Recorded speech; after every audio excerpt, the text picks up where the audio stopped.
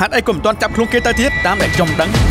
ស្រាសអង្គសុទ្ធមានកម្រិតជាតិអាល់កុលរហូតដល់80%វាជាវត្ថុដែលបង្កគ្រោះថ្នាក់ដល់សុខភាពបើយោងតាមច្បាប់ការលួចផលិតមិនឆ្លងការអនុញ្ញាតដល់ត្រឹមត្រូវគឺត្រូវជាប់ឃុំខ្លួននិងត្រូវពិន័យជាសាច់ប្រាក់នេះតើលោកមកផ្ទះខ្ញុំមានកាយដែរខ្ញុំមករកកូនខ្ញុំអ្នកបង្កឡើងគឺជានាងគឺជាអ្នកបង្កឲ្យមានការយល់ច្រឡំនៃការឡើងប៉ានៅនៅក្បែរខ្លួនកូនអត់ទេតែខ្ញុំអត់មានលោកប៉ាទេលោកពូនានេះងតែខ្ញុំមិនឲ្យបញ្ញាទៅនាងជាដាច់ខាត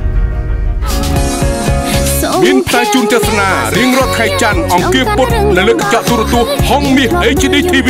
ចាប់ពីម៉ោង8ដល់ម៉ោង9យប់តស៊ូមិនចុះ